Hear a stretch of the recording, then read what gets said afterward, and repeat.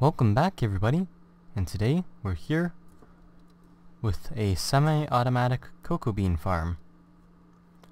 And the way it works is you pull this lever, and you hold right click here, stand next to the piston, and on camera it's slightly lagging, which is normal. But as you can see, it still works just fine. And of course, if I were to stop recording, um, I'd get a bunch more cocoa beans. So I'm going to do maybe 3 seconds off camera. And there we go. That is the difference. I don't actually remember. I'm going to guess it's about a stack, but I don't know. Something close to that. Anyway, the way it works is it's just a clock hooked up to this piston here, and then all three dispensers so let's go ahead and build it here. It's actually quite simple.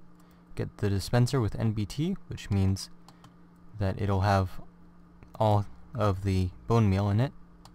Building block, lever, comparator, redstone, and a slab. That's all you need.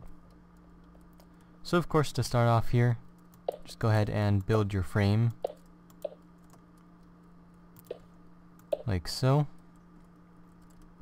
jump for your piston. And there is your frame.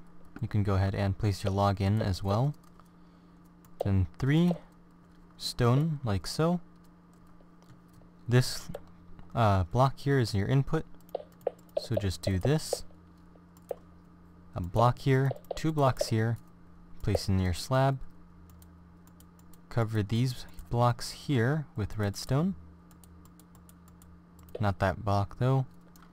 Set that to the uh, subtract mode. And then...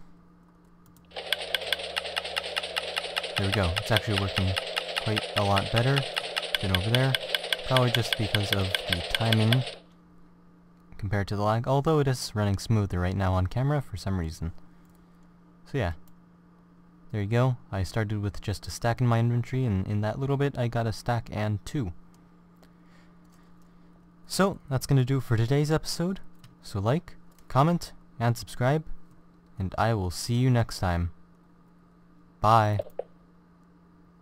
Well, that worked.